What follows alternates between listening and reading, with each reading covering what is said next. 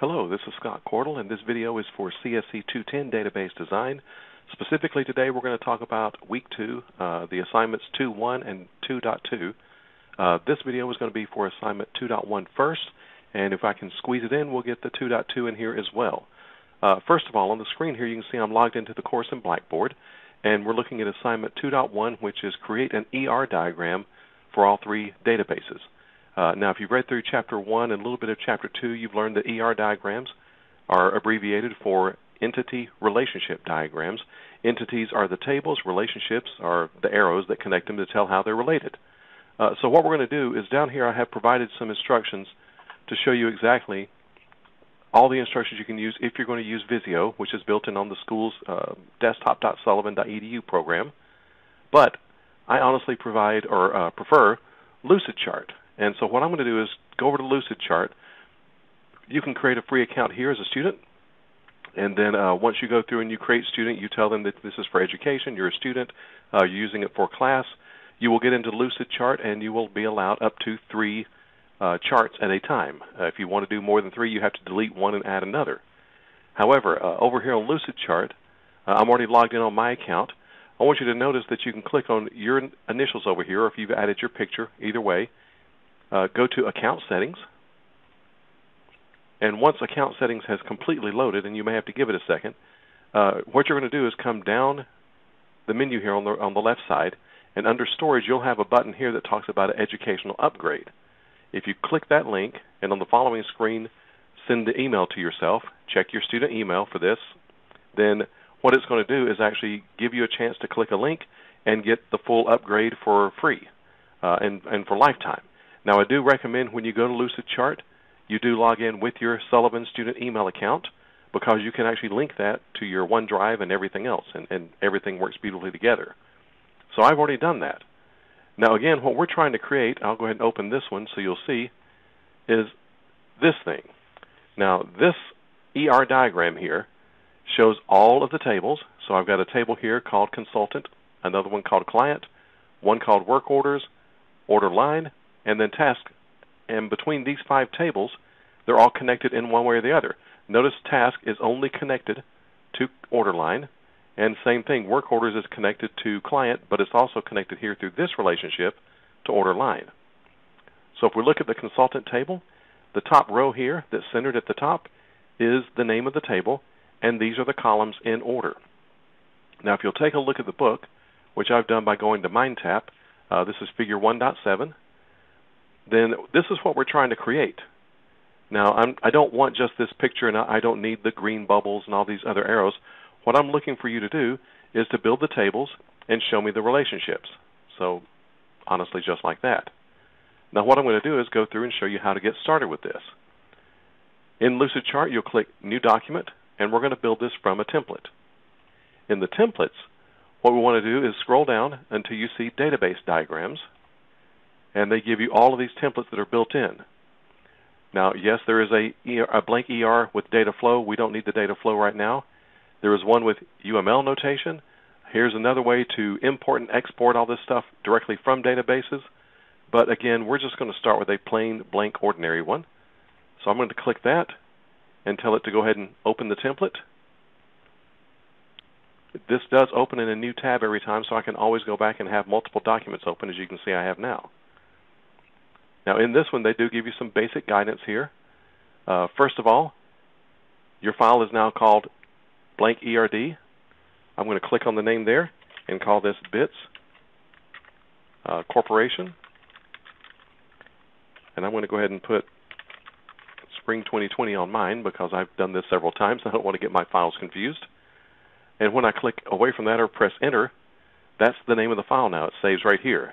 You don't have to go to File and do Save As and all this other. A lot of it's very interactive on the web. Notice that that also changes up here, the name of my file that's built into that label. So we don't need to do much more with that. Now if I want to move these around, uh, on this screen I can actually zoom in and out this way. I can hold down my control button and use the scroll of my mouse to zoom in and out as well. If I want to move it, I can right click and drag it around. So it's it's pretty intuitive for the most part. There's not a whole lot of extra stuff that you need to know. Now our toolbars over here, as far as the shapes we can use, we've got the standard ones that are in every Lucidchart piece that's there, and then we have the entities, and the arrow is what we're going to use for relationships. And I've already changed my line, as you can see, to look more like the crow's foot uh, diagrams. Uh, the ones that are in the book, by the way, back here, this is a screenshot of the relationship view in Access. If you build the tables correctly and come in here and do some things in Access, you can take a screenshot of just this. It's not that I'm against Access, but Access is not a large-scale tool that an organization would use. Uh, to be honest, there's no way that Amazon could run their business if they were doing all of their inventory or orders or any part of any inventory in Access. It just doesn't grow up that big. It's not meant to do that. So we're moving more toward a, a larger organization of a database system, a relational database system, and because of that, we just can't use Access for everything. We will use Access this week for 2.2 and a little bit next week, and then that'll be it. From there on out, we're going to start using uh, MySQL for all of this. So what we need to do is, again, back in this diagram, I'm going to build this first. I want to get the consultant table built with all of the different pieces that are there. So I've got one field here at the top that's going to be part of it, and then I need nine others at the bottom, and just to, to finish all those. So I'm going to grab just this entity. I don't need entity with extra stuff on it or any of this stuff. I just need a plain entity. So I'm going to drag it over into a workspace here. And right now there are three fields at the bottom, three columns. I can see that right here. And if I go ahead and make that 9 like we needed, then now I just double click and start typing in.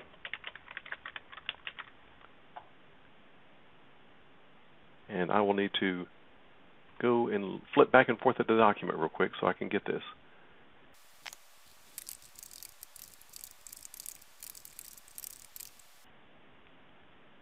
And I think I'm, oh, zip code.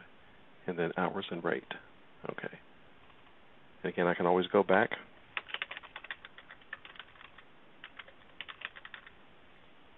And once I click away from that, there's my whole database right now. Now that is just one table, and all of these fields are centered. That's not really appropriate. It needs to be more like this. Uh, if yours stays centered, it's not that big a deal, but this is easy to change. If I go into each one of these fields, I can easily adjust any of them to fit over like that. The problem is the one at the top, consultant, should be centered. It's the other ones down below that should not. But notice I can't grab a piece of it. It's going to always align the entire thing. So for now, I would leave it as it is. Uh, we can actually come and adjust this later, but I'm more worried about can you get an entity in here and show a relationship. So for the next one, uh, let's go ahead and get the client table. So again, we'll do the same action. Grab the entity block, drag it over here to a space. Uh, if I go back and count, there are 1, 2, 3, 4, 5, 6, 7, 8, 9 again. So I can bump this up to 9. By the way, you can also, once you click in here, I can go ahead and add others in here. Notice then, for some reason, uh, that indents the other way. It's just part of it. I, I haven't figured that one out yet. Uh, I'm trying. We'll see. We'll see if I can ever get that to work right or not.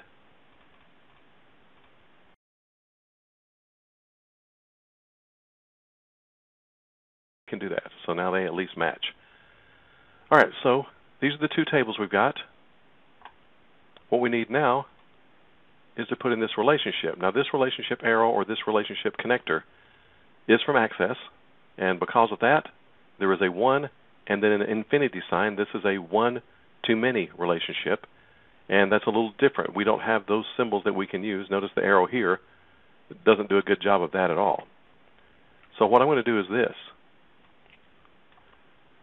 Instead of trying to connect this arrow exactly where I want it to do, notice that these lines in the diagram connect consultant number to consultant number.